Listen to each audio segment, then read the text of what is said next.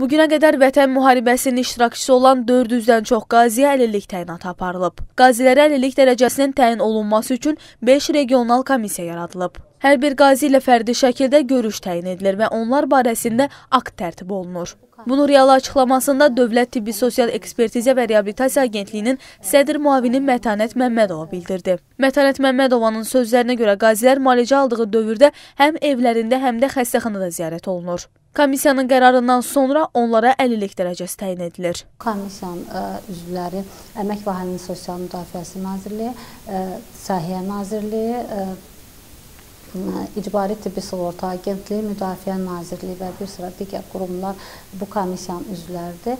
Regionlarda səyyar komissiyalar yaradılmışdı. Həmin bu ə, qurumların nümayəndələrinin iştirakı ilə hər bir qazimizi ə, yaşadıkları ünvanda və yaxud xəstəxanada ziyarət edilir və onun əsasında onların e, vəziyyəti barədə məlumat toplanılır, müvafiq e, tədbirlər görülür. Hər bir qaziyə Qurumumuz tərəfindən fərdi yanaşılır, hər biri dinlənilir, hər birinə görə müvafiq tədbirlər görülür.